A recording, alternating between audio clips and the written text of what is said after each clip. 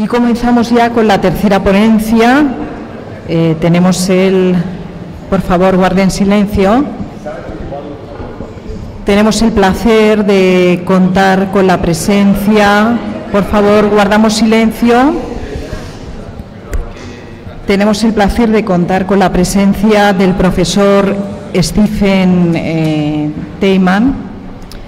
Bueno, el profesor Stephen Teyman es profesor emérito eh, de la Facultad de Derecho de la Universidad de San Luis en Estados Unidos y actualmente está vinculado a la Universidad de Friburgo en, Alemania. Hay que destacar bueno, que, que por sus contribuciones, eh, sobre todo en materia de procedimiento penal eh, comparado, pues fue galardonado por el Instituto Masplan de Derecho Penal eh, internacional y comparado y también por la Asociación Internacional de Derecho eh, Penal.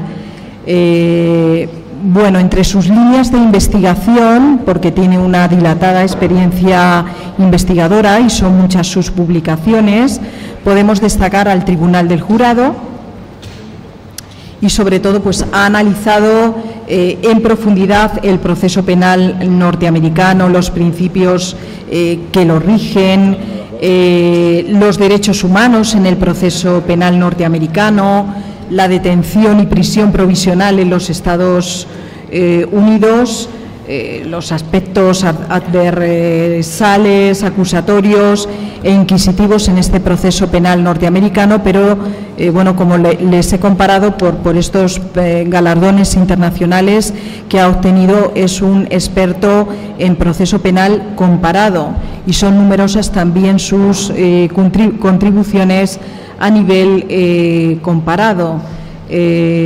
bueno, em, tiene publicaciones, por tanto, mm, relativas al proceso penal eh, en perspectiva eh, norteamericana, eh, perdón, en perspectiva comparada y últimamente quizás destacar una, importante publicación también de análisis comparado dedicado al derecho a la asistencia letrada y la confidencialidad entre abogado y cliente en el proceso penal. Eh, bueno, pues mm, no le robó más tiempo para su ponencia. Él habla un estupendo castellano. Vamos a compartir eh, la presentación para que, porque él tiene una presentación en PowerPoint para que la puedan ver también sus compañeros online y en unos segundos le cedo la palabra.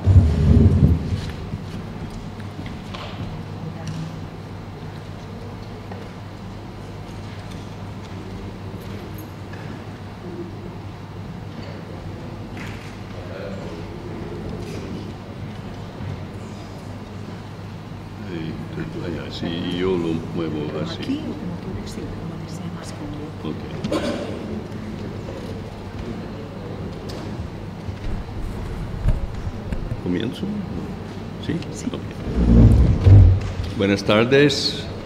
Ah, para mí es un gran honor ah, de participar en este curso de Derecho Constitucional y quiero otra vez agradecer al profesor Javier Díaz Reborio para sus invitaciones en los últimos años. Y es un placer poder regresar a esta ciudad histórica después de los años de COVID. Voy a hablar sobre la privacidad en comunicaciones digitales desde un perspectivo comparativo y sobre todo entre Estados Unidos e, y Europa. En los Estados Unidos se analiza problemas al fondo de la cuarta enmienda de la Carta de Derechos de la Constitución norteamericana del año 1791. Eso es el texto. Muchos de ustedes eh, conocen probablemente este documento histórico.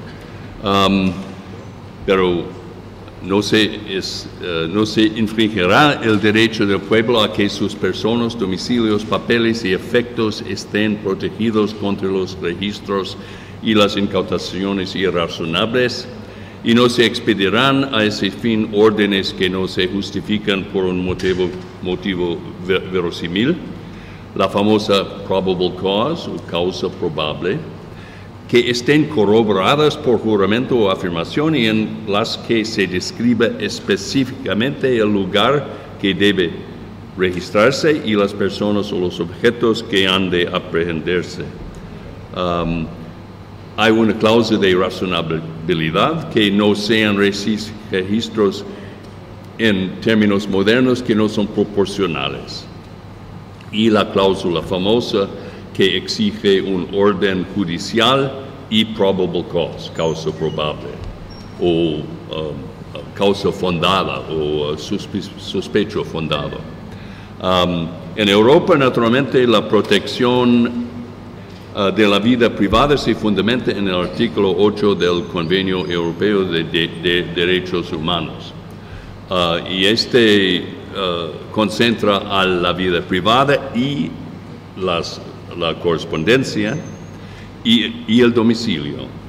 Um, no podrá haber, injerencia de la autoridad pública en el ejercicio de este derecho, sin, sino en tanto en cuanto esta injerencia esté prevista por la ley y constituya una medida que en una sociedad democrática sea necesaria para, y, hay varias uh, razones, y una es eh, dos importantes para nosotros son eh, la defensa del orden, la prevención de las infracciones penales y también eh, la seguridad pública.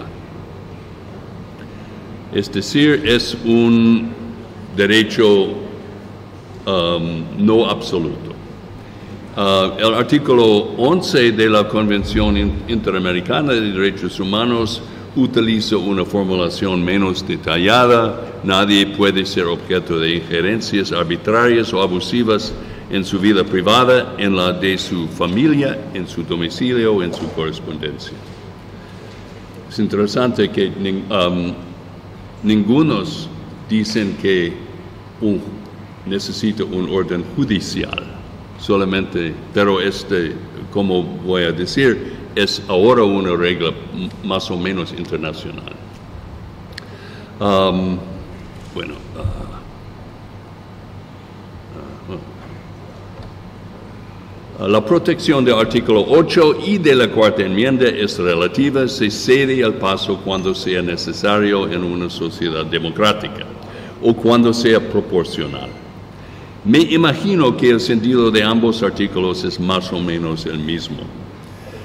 Hoy el ciudadano norteamericano se encuentra protegido cuando tiene una expectación razonable de privacidad en relación con el lugar o la actividad que ejerce. Esa es la decisión de Katz contra Estados Unidos de 1967. En Alemania hay un enfoque en la protección del derecho de desarrollar la personalidad que es se puede decir que es uh, la razón de proteger la privacidad, porque la gente puede desarrollarse como uh, uh, seres humanos. Um, y, este es protegido por el artículo 2.21 de la Constitución alemana que protege la dignidad humana. hay tres decisiones claves, hay más, pero tres más o menos viejos del Tribunal Supremo alemán que reconocen una zona central de protección absoluta, um, o un, uh, Kernbereich auf Deutsch.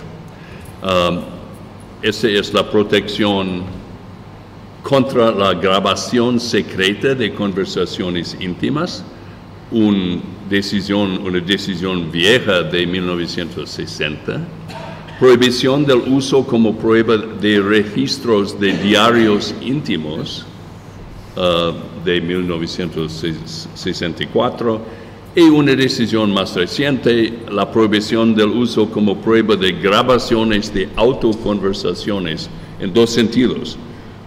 Han implantado una escucha, un aparatos para escuchar en un coche un coche, pero el sospechoso ha hablado con su, propio, con su mismo, no era otra persona en, el coche. Una decisión interesante. Históricamente en los Estados Unidos uh, hemos reconocido um, uh, la cosa de a man's home is his castle, domicilio como castigo. No se puede entrar sin causa probable y autorización judicial pormenorizando las áreas de pesquisar y las cosas de confiscar. Y antes, no, han podido confiscar escritos privados como una diaria um, o cosas que no son contrabando o frutos o herramientas de criminalidad. Esta era una decisión famosa de Boyd contra Estados Unidos, 1886.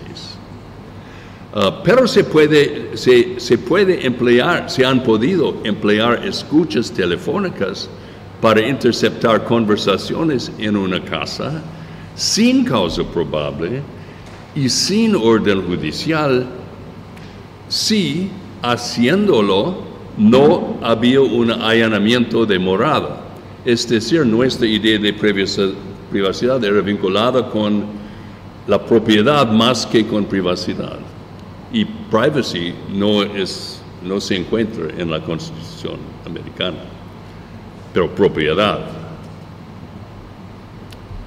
Um, esta era la decisión de Olmsted contra el Estado de Washington de 1928.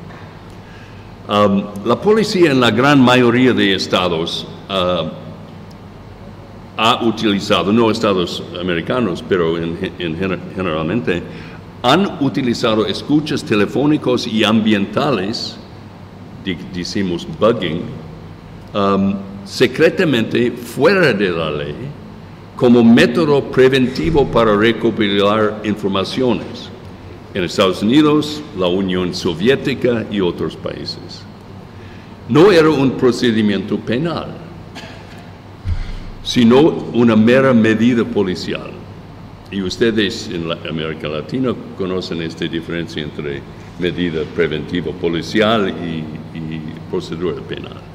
Um, en Olmsted, la Policía Federal ha violado la ley del Estado de Washington para, para uh, escuchar estas conversaciones. Este se ha cambiado en 1967 con la decisión de Katz contra Estados Unidos y la promulgación de la ley de escuchas llamado Title III o Título 3 en 1968 que exige causa probable, probable cause y autorización judicial. Y también en 67, en la decisión de Warden contra Hayden, el Tribunal Supremo ha también pronunciado que no hay más protección absoluta para escritos um, personales o otra propiedad personal si es indicio de la comisión de un delito. Es decir, en algún sentido, la protección se ha puesto menos con el cambio de protección de propiedad hasta protección de privacidad.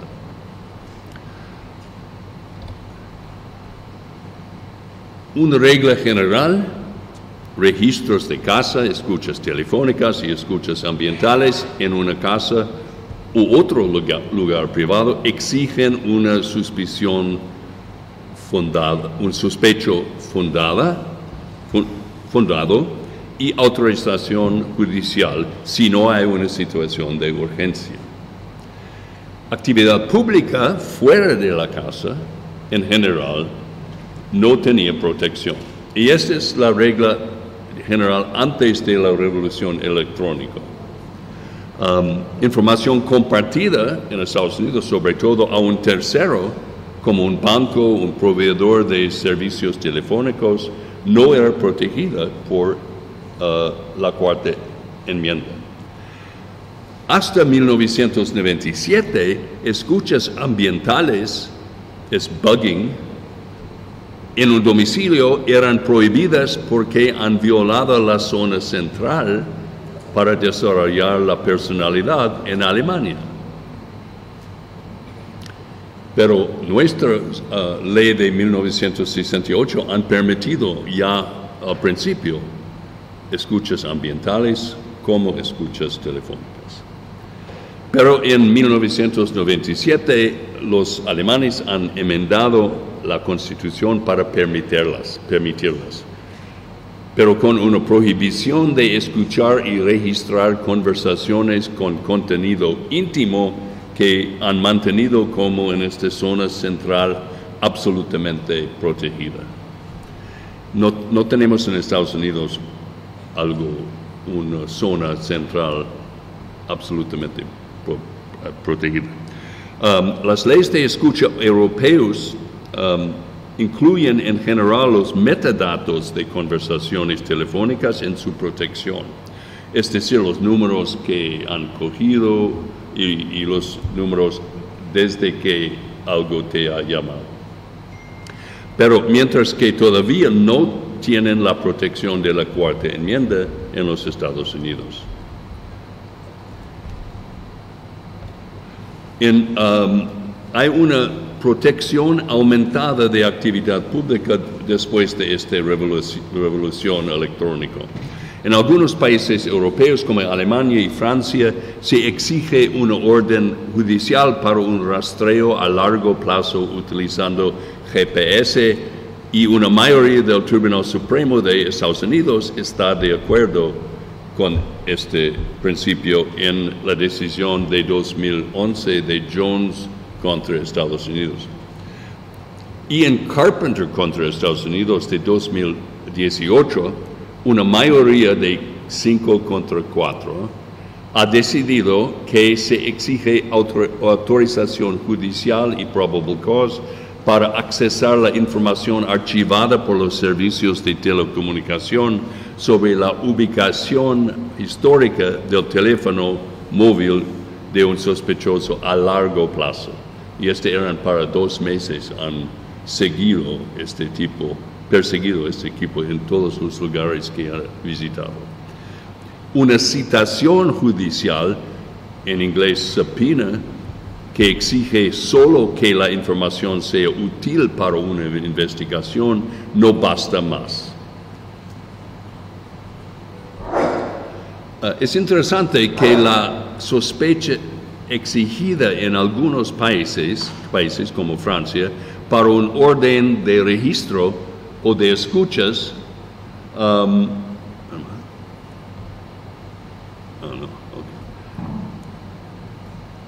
es más cerca del estándar para un subpoena en los Estados Unidos que de probable cause. Para una escucha en Francia, el juez de instrucción debe solamente alegar que las necesidades de la investigación la exigen. Es mucho menos que probable cause. Y un juez holandés en una conferencia una vez me ha dicho que información anónima per teléfono, teléfono basta para una escucha en Holanda. Y este es, es casi no eh, una sospecha solamente eh, de principio. Um, um.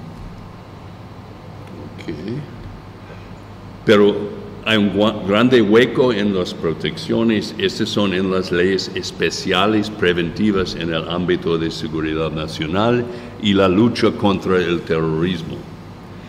El ley, la ley G10 de Alemania de, de 1970, algo 72 o algo, para luchar contra el terrorismo, permitía escuchas sin orden judicial y era aprobado por el Tribunal Europeo de Derechos Humanos en 1978 en la decisión Klaas contra Alemania. El Foreign Intelligence Surveillance Act o FISA de 1978 también, um, uh, permite escuchas telefónicas y ambientales y otras medidas secretas sin autorización judicial si están dirigidos a agentes extranjeros o terroristas internacionales. Si un ciudadano o residente de los Estados Unidos podría ser afectado, exige autorización judicial de un tribunal secreto en Washington, D.C. y también en Italia hay uh, una provisión que permite escuchas sin autorización judicial también en casi todos los casos de mafia. La policía puede escuchar como quiera. Y siempre estas ex, uh, excepciones son huecos para que se uh, recopila uh, pruebas en, um, en casos normales también. Otros ejemplos, el, la emerge, emergencia uh, proclamada en Francia después del ataque terrorista contra Charlie Hebdo en, en 2015. Una ley antiterrorista en Hungría de 2010 fue declarado en violación de artículo 8 por el uh, Tribunal Europeo de Derechos Humanos en 2016. Ese era Sabo y Vici contra Hungría. Y en 2008 también otra ley alemán permitía el uso de muchas medidas de investigación secretas, como escuchas, registros online, etcétera, sin autorización judicial, pero el Tribunal Constitucional de, Constitucional de Alemania ha declarado algunas de las medidas en violación de la zona central protegida um, para desarrollar la personalidad. Ejemplos de que la ley policial cancela, cancela, cancelaria, cancela las protecciones del Código Procesal Penal cuando articulan sus acciones como preventivas en vez de represivas.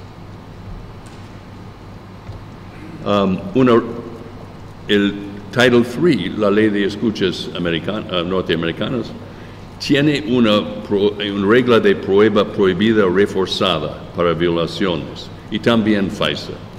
Se dice ninguna parte del contenido de una comunicación interceptada en violación de la ley y ninguna prueba derivada de una violación puede ser introducida como prueba en cualquier juicio oral ni en cualquier otra audiencia o procedimiento criminal, civil, administrativo o legislativo.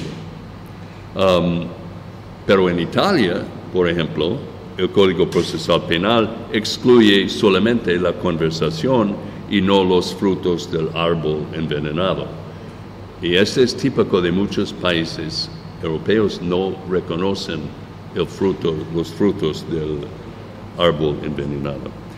Es una regla más estricta que la regla general para violaciones de la cuarta enmienda que se aplica solamente en el juicio oral criminal y admite las excepciones famosas de fuente independiente, descubrimiento, inevitable, buena fe y causalidad atenuada. Um, la autorización, um, hay algunas reglas generales para el registro de ordenadores, teléfonos electrónicos y smartphones. La autorización judicial para registrar un domicilio debe incluir también la autorización por, por, pormenorizada para registrar un contenedor electrónico. El orden debería especificar qué archivos están vinculados uh, con la comisión de un delito para registrar el disco duro del ordenador. Um, en Estados Unidos no se puede utilizar el poder de registrar propiedad personal al tiempo de una detención en flagrante para uh, search incident to arrest para justificar el registro de un ordenador o smartphone. Y esta era la decisión de Riley contra California en 2014. Hay un problema de textos cifrados, encifrados o cifrados. Cifrados. Sí. En los Estados Unidos hay diferencias de opinión si se puede obligar a un sospechoso de descifrar el texto, de revelar la contraseña para descifrar el texto o de aplicar, o ya de aplicar su dedo para abrir el texto biométricamente. Algunos lo tratan como una violación del derecho de no incriminarse, protegido por la quinta enmienda de la Constitución, Constitución y otros no. En Australia, Nueva Zelanda y el Reino Unido hay leyes que criminalizan el negarse de entregar información para de descifrar un texto y otros. y otros, como Francia, obligan a los servicios de telecomunicaciones de entregar una clave para decriptar su tecnología.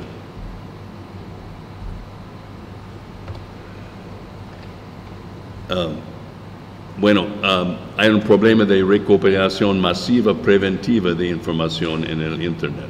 Y he, olvidado de, he, cortado mucho mi uh, uh, charla porque cuatro años atrás tenía dos horas y ahora media hora, pero um, he, uh, olvidado de incluir que naturalmente en 1914 ya la Corte Suprema um, de Estados Unidos ha declarado una regla de prohibición de utilizar pruebas um, uh, recopiladas en violación de la Cuarta Enmienda y la ha extendido a los estados en 1961.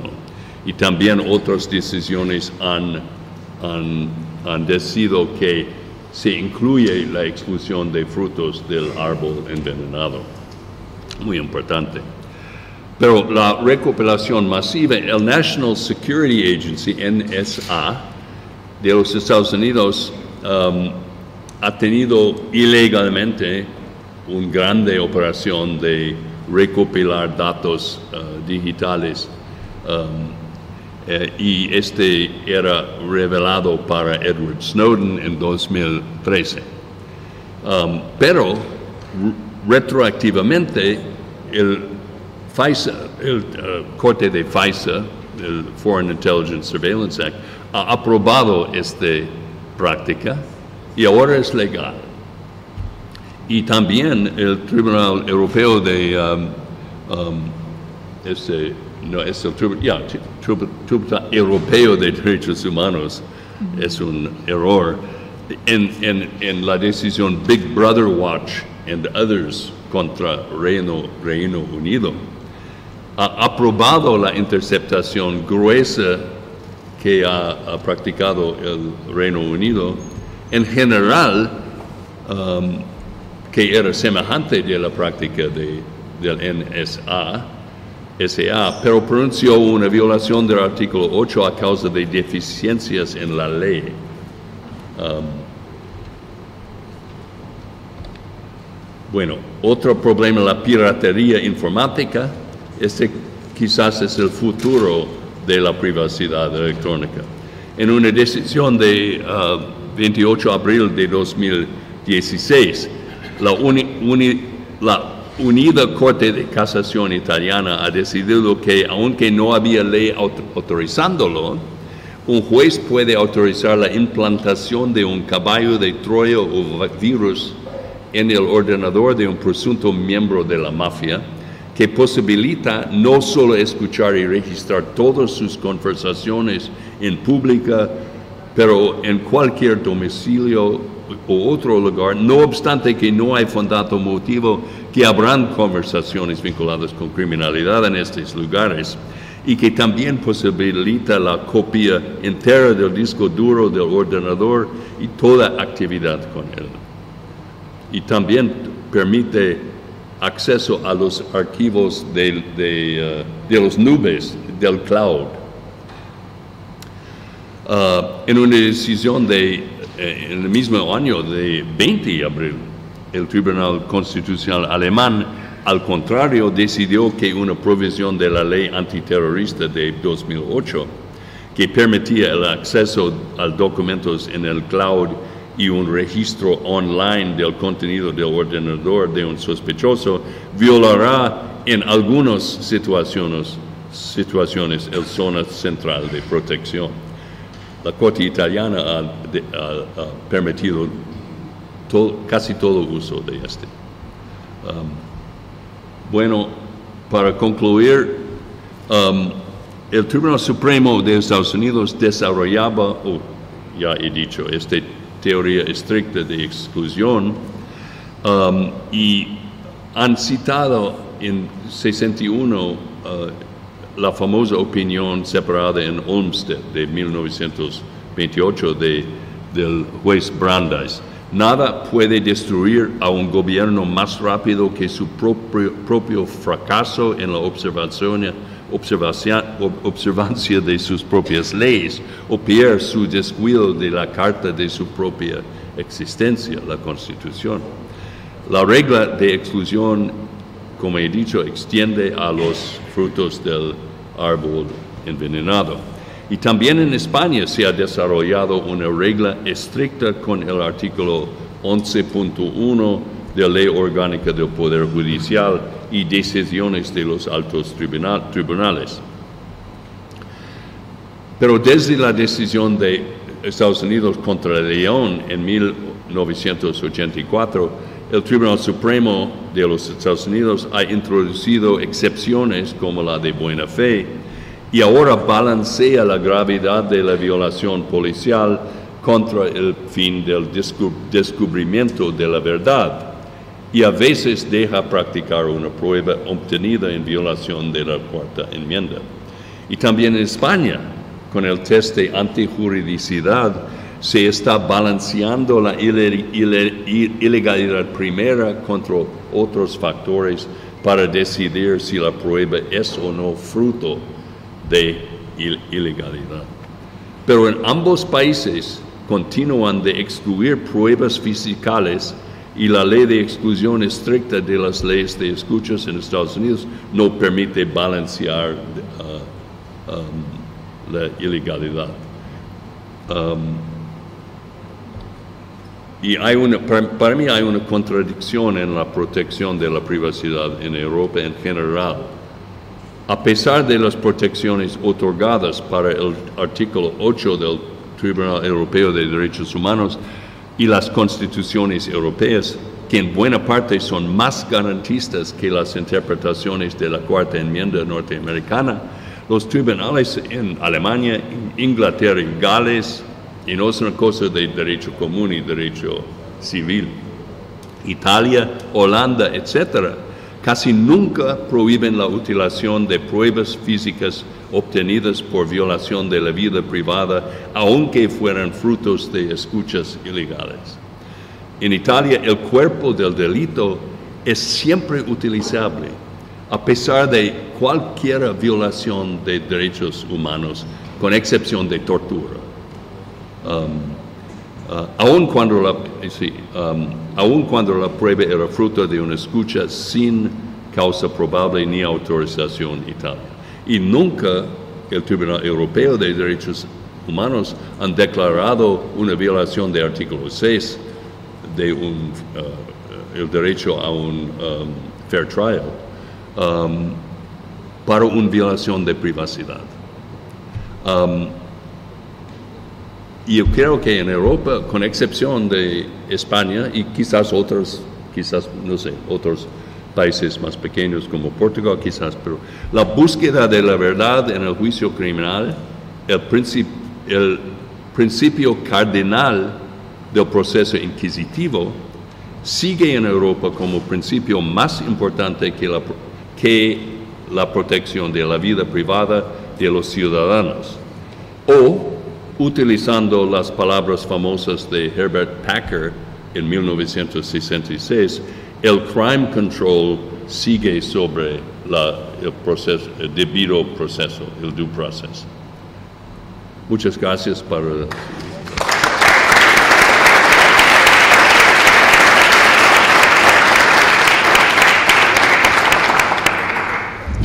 Muchas gracias, profesor, por este esfuerzo de síntesis que nos consta que, ha tenido que hacer eh, sobre este tema bueno, tan de actualidad, ¿no? que nos preocupa eh, tanto a todos. Eh, como de costumbre, vamos a iniciar un turno de preguntas. Voy a restablecer un poco la pantalla para que puedan visualizar mejor al profesor. Eh, bueno, de momento veo, eh, bueno, eh, tienen que ser conscientes, siempre les tengo que pedir disculpas, que nos queda una sesión, los incidentes un poco técnicos con la traducción simultánea de la ponencia anterior, pues han provocado que vayamos ya fuera de tiempo. Entonces, me tienen que permitir, bueno, voy a, ahora hago una comprobación de cuántas manos hay pedidas online. Bueno, hay, hay una persona, Rosa Pérez, ¿vale?, que tiene pedida la mano online y como siempre le vamos a, a conceder primero el turno de palabras. Y aquí pues eh, tres preguntas, no más. No sé Silvia quién levantó un poquito la mano antes. Eh, tres preguntas nada más, ¿vale? Porque si no nos pasamos ya mucho de tiempo y nos estará ya esperando también el magistrado eh, Eloy Espinosa. Un momento, profesor. Ah, sí. ¿Quieres que, que cam- cam- cambiamos? Magdalena, ¿Sí? ¿empezamos aquí con las de sala? Mejor. Vale. vale.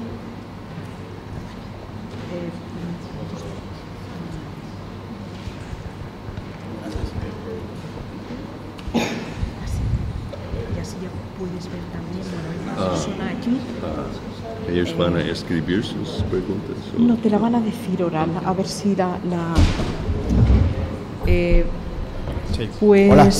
pues Rosa, cuando quiera puede formular su pregunta. Perfecto, ¿Qué tal, profesor? perfecto, Steven? muchas gracias.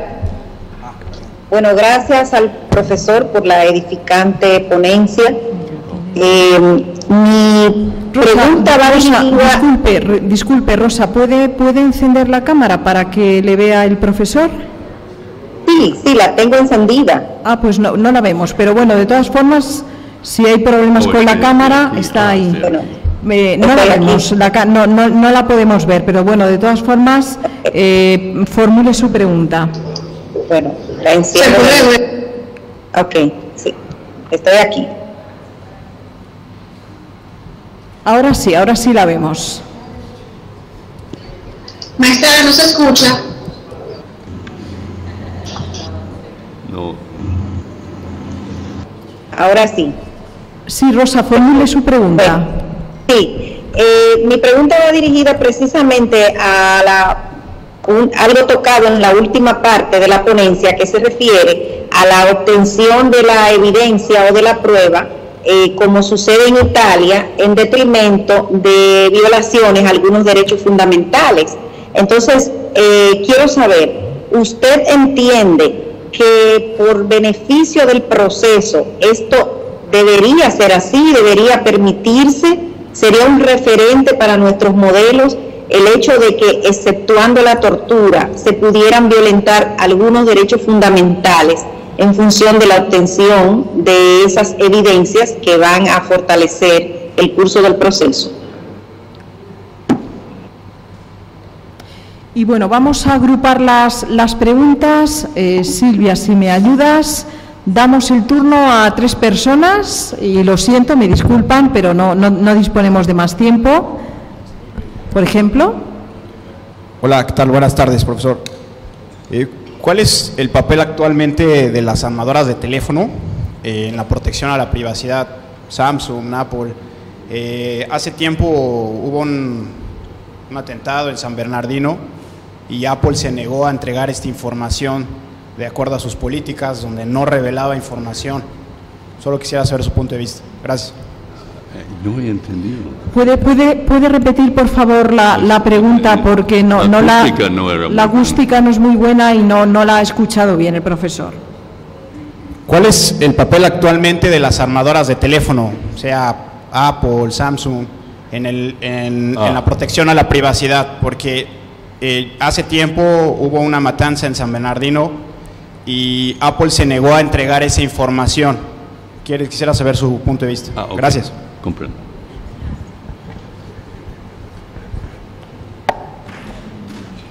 Buenas Eh, tardes, profesor. ¿Sí me escucha bien? Tomás de México. Me quedo con su última parte de la ponencia, donde nos refería que los países europeos, esencialmente, ellos optan por violar el debido proceso de cierta manera, pero darle preferencia al juicio criminal para llegar al, a obtener la verdad y castigar. Ok, partiendo de esa premisa, en los países lat- latinoamericanos el sistema penal pasó a ser un sistema científico, donde se respeta mucho el debido proceso, pero los resultados del castigo criminal o la baja de la incidencia criminal no se atacó. La delincuencia sigue creciendo y creciendo. ¿Qué opinión le merece al respecto? Gracias. Sí, básicamente que a pesar de que legalmente eh, se tiene que respetar el debido proceso, en Latinoamérica la delincuencia no deja de ser. No sé, pregunta si... Y una última, por favor, una última pregunta. Eh, y ya va contestando el profesor.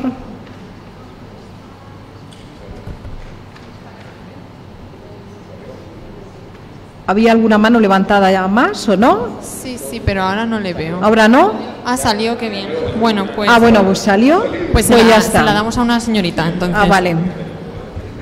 ¿Usted quería hacer una pregunta?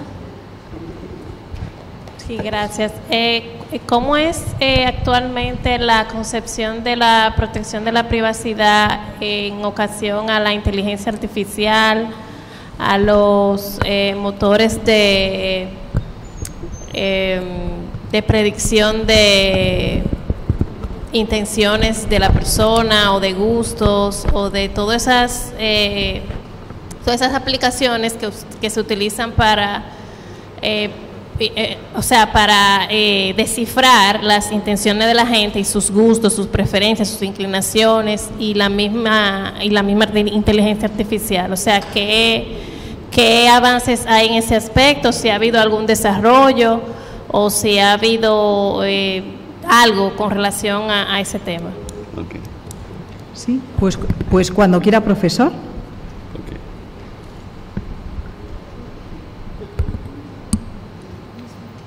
Momento.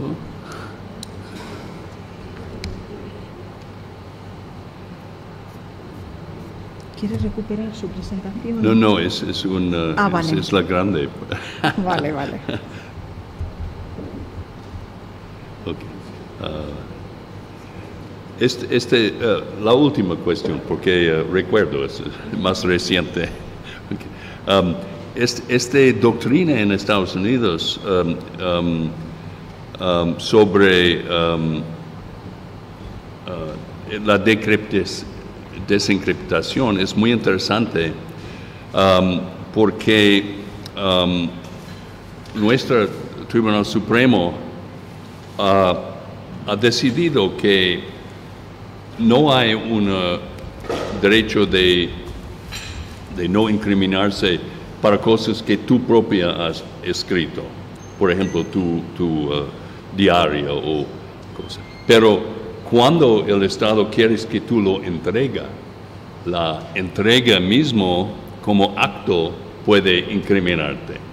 Y es decir, si, si esta entrega es como aceptar que tú posees, que ese es en tu Se posesión. fue el audio, no se escucha. Y- y- ¿qué, qué? No se escucha el profesor. No, no, no No, no, es... no, no es- no. Fue el micrófono que se le cerró. Ah, ok, ok. Yo voy a repetir. Es interesante porque um, aunque un, sospechoso no tiene derecho, uh, un derecho de no entregar papeles que él ha confeccionado, uh, porque no había uh, una um, coerción de, de, de- de, escribir estos papeles. Pero el acto de entregarse puede incriminarse, incriminarlo, en el sentido que se dice entregándolo que son mis cosas, mis papeles, que son auténticos y que son precisamente los papeles que el gobierno quiere de mí.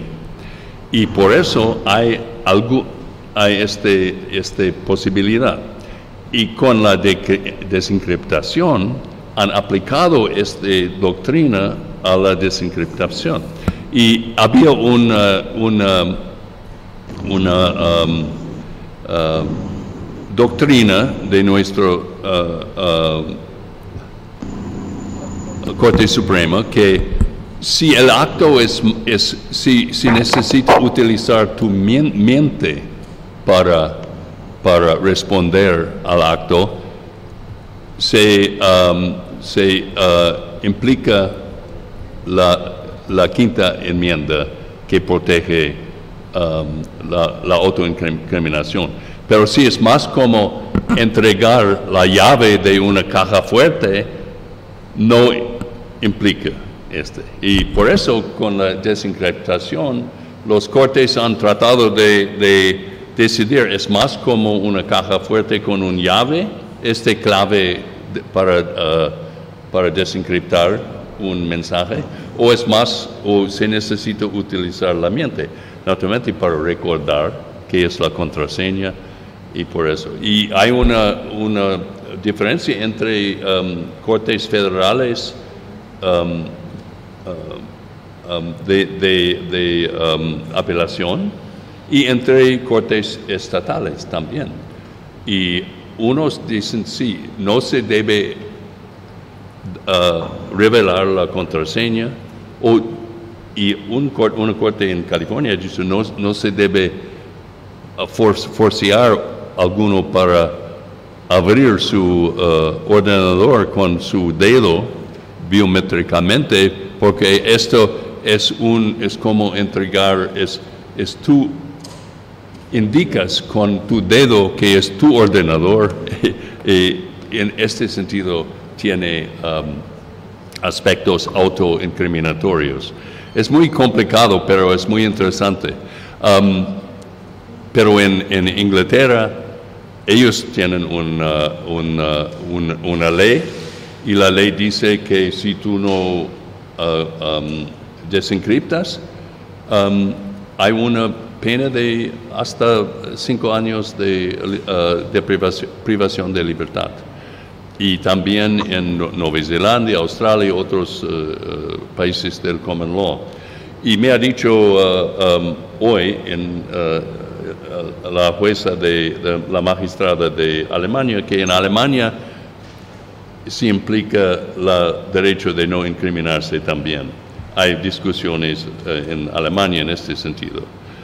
Y naturalmente en China y en Rusia los servicios de telecomunicaciones son obligados de dar al gobierno todo para, para, eh, para eh, desencriptar todos, t- todas las cosas, pero no son democracias. Um, um, y otro, um, si he entendido, Ro- Rosa, si he entendido uh, uh, correcto, si, si es verdad, si solamente, por ejemplo, en, en Inglaterra y Wales y Gales o en Italia uh, no hay, um, no hay um, recognición de- del fruto de árbol envenenado. Sí, los cortes dicen, nosotros no aceptamos este. Es porque la busque- búsqueda de la, de la um, uh, uh, verdad es más importante que los derechos fundamentales. Porque ellos piensan que también en Italia y en Alemania también, los cortes tribunales han inventado un nuevo derecho constitucional de garantir una un sistema de, de, um, de justicia efectivo.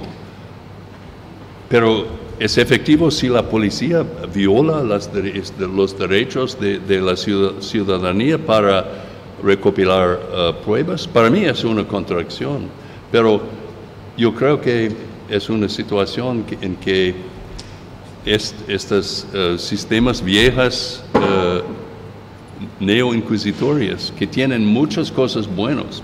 Por ejemplo, en Alemania, las penas son tan de bajos que, y, para mí la procedura es más, es, no, es, no es muy adversario, no es, no es muy um, moderna, pero las penas son, y en Estados Unidos tenemos este sistema teo- teóricamente fantástico, pero casi nunca hay un, un juicio conjurado porque el sistema de, de- de conformidades y de plea bargaining es tan coercitivo que nadie, nadie arriesga un, juicio.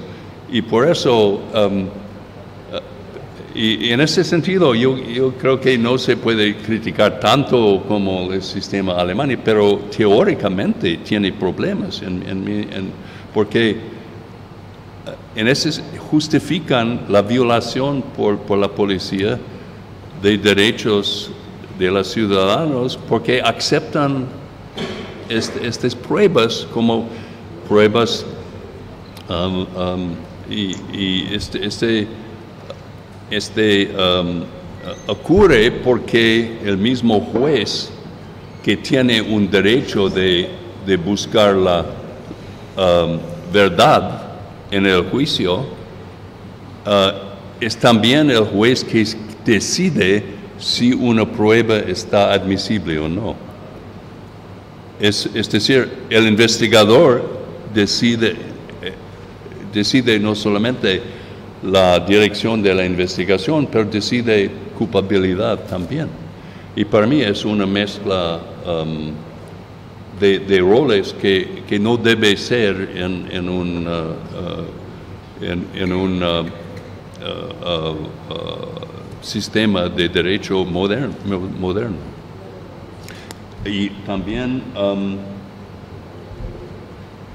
ah, el rol de, de las co- compañías eh, telefónicas. ah, sí, um,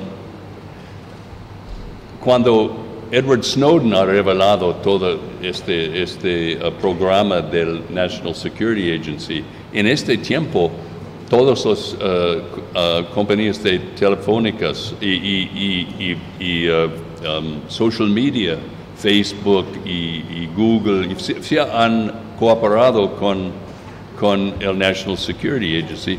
uh, o voluntariamente o porque se han sentido forciados de, de hacerlo. Pero también habían en había un caso en San Bernardino, California, en que había un ataque terrorista um, y, um, y la policía quería desinfri- des, de- des- no, des- descifrar, descifrar un teléfono y creo que era Apple, Apple o uh, que, que no ha, que no ha revelado su uh, su um, key, escrow, no sé, pero y este era era un test de, uh, de, de los sistemas, pero um, en ese sentido los, los uh, servicios tele- telefónicos y de comu- comunicaciones tienen diferentes uh, um, políticas en este sentido. Um, yo creo que hasta ahora nunca Apple nunca ha ayudado a- Todavía no al gobierno para, para accesar esta información. Y finalmente, la última, eh, no, la penúltima pregunta sobre Tomás. No, no he entendido bueno, pero um, como este eh, enfoque, eh, idea que, que eh, el derecho pe- penal es algo científico. Naturalmente, este es europeo. En Estados Unidos no, no pensamos que, um, que, que derecho penal es científico, pero, pero es este Rechtswissenschaft, eh, ciencia de derecho. Y en ese sentido, naturalmente, los alemanes son los grandes en, el desarrollo de la ciencia penal con Roxin y con otros, otros grandes profesores. Pero, pero también esta idea que la verdad material es más importante que, la, el proce- que un proceso el debido proceso. Yo, yo creo que, según mi juicio, y, yo estuve, estu- estuve 12 años como defensor público en California, mi, mi perspectiva es de un defensor. Um, uh, yo creo que es, es, uh, es equivocado este, este enfoque en, en, en que importante de decidir un caso de drogas o algo. Un caso de drogas no es importante porque si tú no uh, uh, uh, condenas un, un uh, um, narcotraficante esta vez, tú puedes hacerlo la segunda vez porque es un traficante, es un, no, es, no es como, y, muchas de esas cosas con uh, um, escuchas y con, no, no son, no son, um, no son as- asesinatos o, o- homicidios, no son cosas muy graves, pero el Estado, como en Estados Unidos, es el peor. Estado piensa que la droga es, es, es, es, es más eh, grave que, que, eh, que eh, los, los, um, um, uh, los asesinatos eh, más, más, mass murders, los, este, Sí, sí, en ese sentido, um, no, uh, yo pienso que se, se debe, la policía hoy en día no es difícil seguir las, uh, la, um, las pautas de una investigación legal. Todos saben qué, qué es. Quizás uh, dura un poco más tiempo o se debe uh, uh, levantarse más temprano por la mañana o, los jueces, por ejemplo, en, en- en Alemania, hasta 2000, todos los um, registros eran de urgencia, todos. ¿Por qué? Porque la policía han siempre querido registrar por la noche y los magistrados siempre han ido a casa a 5 de la tarde y nunca había un, un juez trabajando la noche para emitir y, y finalmente el Tribunal Constitucional ha cambiado y dice no, no, es, no se puede explotar esta excepción de urgencia. Deben, los magistrados deben trabajar también de noche para emitir, para uh, que la Constitución tiene, tiene, tiene dientes. Y en ese sentido, y- pero todos quieren, todos los sistemas quieren ahorrar dinero, no quieren pagar, no quieren, quieren um, emplear más poli- polic- policías, más jueces, y, por eso tenemos el plea bargaining. Plea bargaining no tenemos, no, necesitamos jueces más casi, o, o defensores públicos, o, eh, en ese sentido. Pero um, yo creo que es, sencillo. Y los cortes no están muy, muy, muy um, las reglas no son difíciles de, uh, de, um, De cumplir. cumplir, de cumplir. Solamente uh, necesitan gente para, para hacerlos. Bueno. Muy bien, pues muchas gracias.